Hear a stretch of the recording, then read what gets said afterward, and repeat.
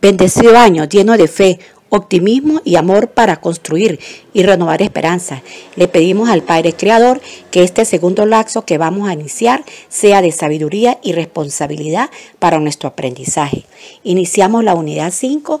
El matrimonio, unión conyugal, es una institución social fundamental que se une por amor. Se involucra a dos personas físicas y naturales. El matrimonio es al mismo tiempo una figura legal, una ceremonia social y religiosa, una entidad cultural y tradicional. Es decir, que por matrimonio podemos entender distintos tipos de conceptos sociales, culturales y legales, dependiendo de la tradición específica de una sociedad. El matrimonio comenzó con los modos en que las culturas antiguas celebran y formalizaban la unión de los reyes nobles.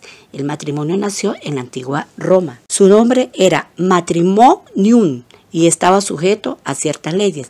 Fue asimilado por la naciente cultura cristiana, en la cual se convirtió en un vínculo cristiano. Se convirtió en un vínculo sagrado celebrado por Dios y conforme a ciertos ritos provenientes del Antiguo Testamento, es decir, de la religión judía. Así surgió el matrimonio civil, que permitió casarse a personas de religiones distintas por ley eclesiástica. También fue posible el divorcio, que permitía hay la interrupción del matrimonio, aunque la Iglesia tardó en reconocerlo por sus votos matrimoniales. Son hasta que la muerte nos separe. Recientemente surgió la necesidad del matrimonio igualitario dependiendo la legalización de cada país, tipos de matrimonio religioso y matrimonios civiles.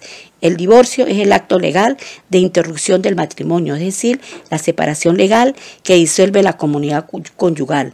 La comunidad de bienes creada por el matrimonio se realiza acorde a la ley jurídica. Para saber más del tema debe leer y ver el video para realizar la actividad. Próxima clase, la soberanía.